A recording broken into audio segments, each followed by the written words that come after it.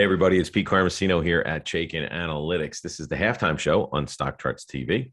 Each and every week, we kind of go over just the market things that are happening. We're looking at indexes, we're looking at you know specific parts of the market like bonds, oil, uh, interest rates, obviously, and uh, individual names um, that we call out that are either under a, a change in trend or uh, being affected by the market movements in that specific day.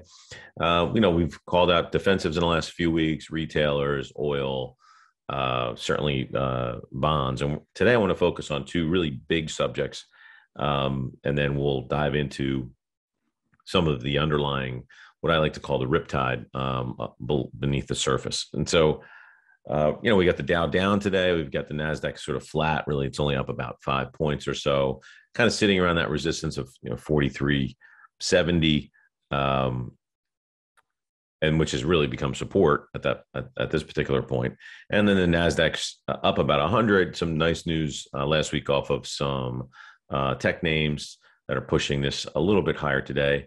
Uh, when i say a little bit it's up less than 1% which is a pretty big move considering the other indexes aren't moving at all but you know this is kind of what's happening. So today i want to go over uh, we're going to look at the uh, Nasdaq pullback. We talked about this a few weeks ago. We had a channel um, that we had saw that the Nasdaq was really respecting on the way up, and seems to be uh, heading uh, to the bottom of the channel at this point.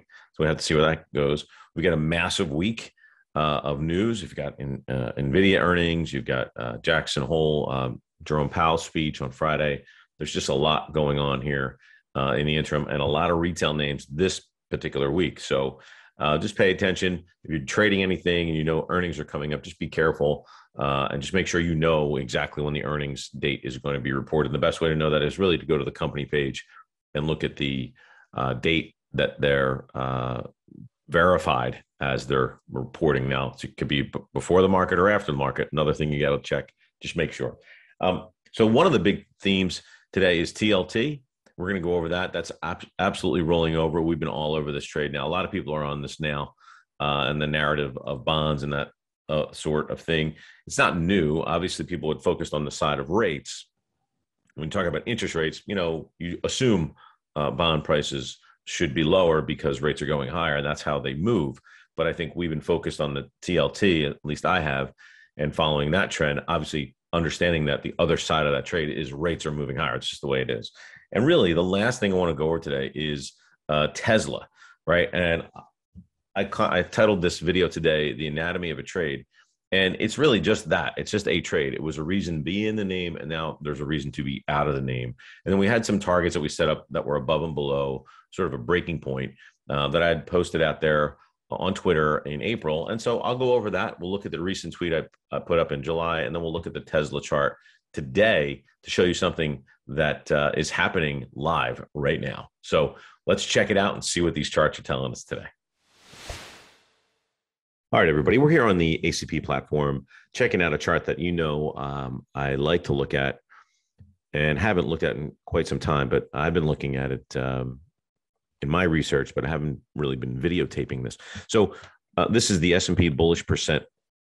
Uh, it's a four panel chart, meaning that I've got the S&P a weekly chart up here. I was calling out the rallies for a year and a half or so, about 18 months.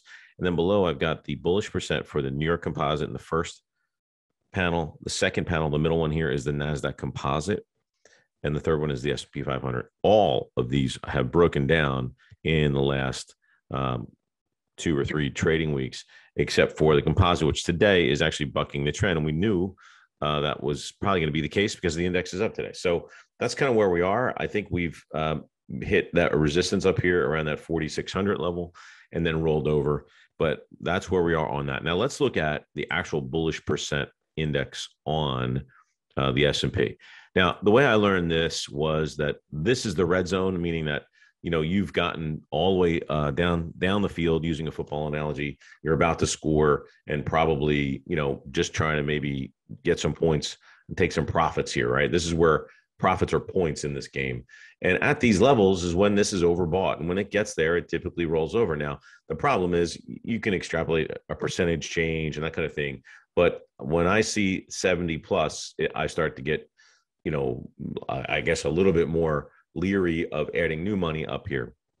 Down here is in the green zone is where you want to be adding money, and that's a better timing factor if you're trying to do that type of trade. But I just use it as sort of a, a, a weather pattern for the market, right? Just making sure I understand: is it really too hot, or is it just mild enough to start getting invested? And that's around a 30 level, and this is around a 70. So anything above 70 is looking great. Anything below 30, you know, again, pandemic level here. Look, it can go all the way down to one percent this was extreme. You don't see this very often, but if I squeeze this in and look back just even several years prior, back to 2015, you start to get to that 25 level, even as low as 15 or so. You know, you start to feel a little bit more comfortable. That's where that contrarian point of view comes in. So just use that to your advantage.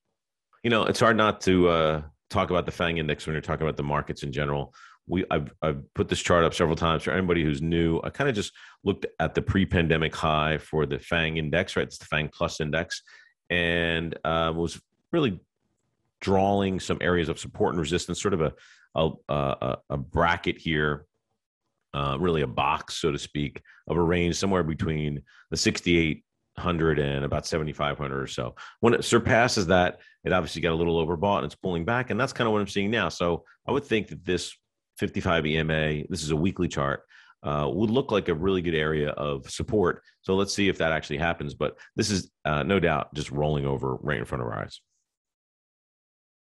All right, let's jump to the US dollar here. And I drew this chart about a week or so ago. It's not really a typical chart you see uh, technicians using. It's just something that kind of stood out to me. So I thought I'd draw it um, in the matter of uh, the art form of technical analysis, so to speak.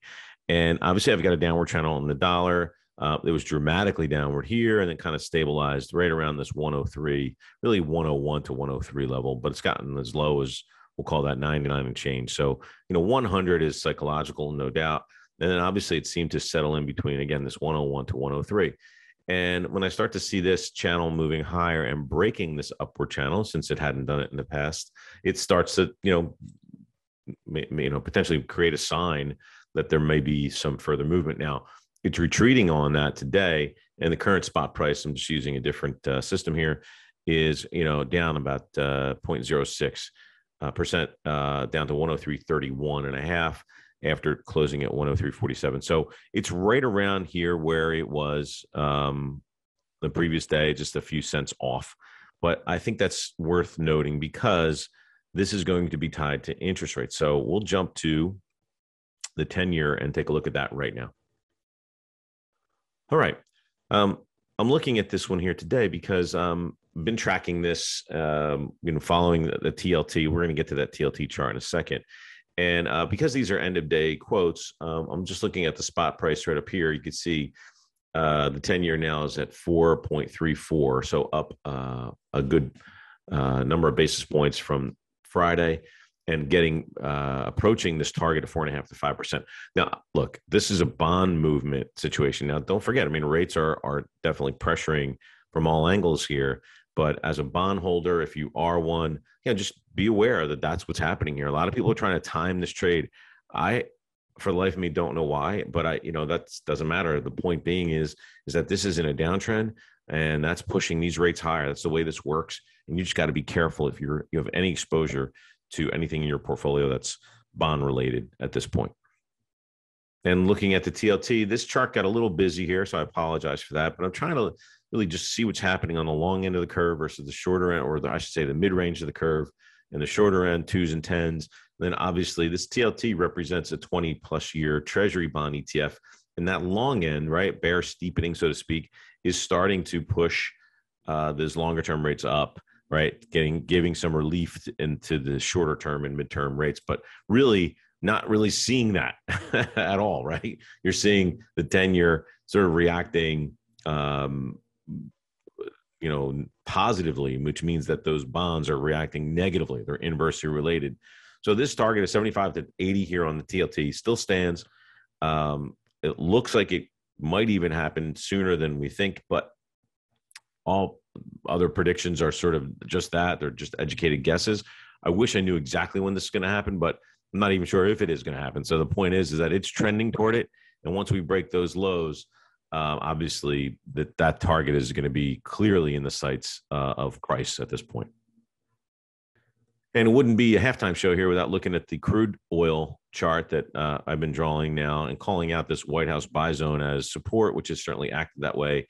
And obviously now the trend has changed here. I've got a 55 EMA crossing above the 200. This is a daily chart of WTI crude, that continuous contract, and certainly finding some resistance in these levels of 80 to 85, and then maybe some support between 78 and 80. So you know, I don't know if that's going to be a new trend, but it looks like it's been there before for many, many months and seems to be uh, just repeating that range trade again. However, the difference now is that the longer term moving averages are crossing to the upside. And so this backfill could just be that, just a test of support and then moving higher. Let's hope not, but that's kind of what the chart is saying at this point.